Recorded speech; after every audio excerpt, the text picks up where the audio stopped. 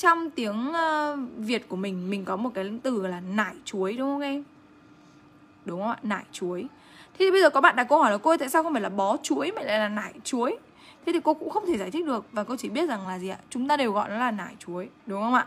Thế còn nải nó là cái gì thì chắc phải nhớ đến chuyên gia tiếng việt, đúng không? Thế nải chuối trong tiếng anh người ta sẽ đọc là a bunch of banana. A bunch of bananas, người ta gọi là nải chuối các em ạ đấy. Và cái từ nải trong trường hợp này họ dùng từ bunch. Ok, họ dùng từ bunch. Đấy. Thế nhưng bây giờ cô sẽ có bó hoa.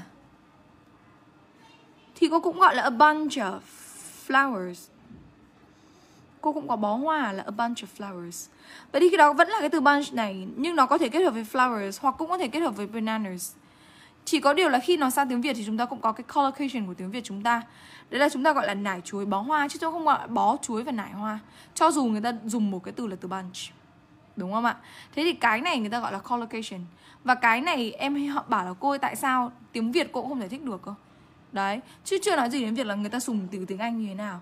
Vậy thì cái collocation là cái gì ạ? Là cái chúng ta không giải thích và chúng ta phải học thuộc.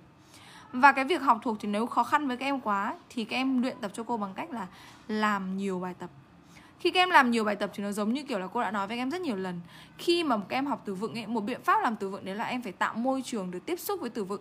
Khi các em tạo môi trường tiếp xúc với từ vựng ấy, thì nó sẽ giúp em là nhìn thấy nó thường xuyên một cách vô thức.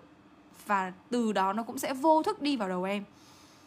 Còn nếu mà các em càng chủ động học nó bao nhiêu ấy, thì nó sẽ khó vào đầu bấy nhiêu cái sự chủ động ở đây nó không phải là cái việc là em em em lười, em không chủ động để học đâu. Mà cái sự chủ động ở đây tức là em càng cố nhồi bao nhiêu thì nó sẽ càng ra bấy nhiêu. Do vậy cô không phải là người nhồi học sinh để học từ vựng, nhá.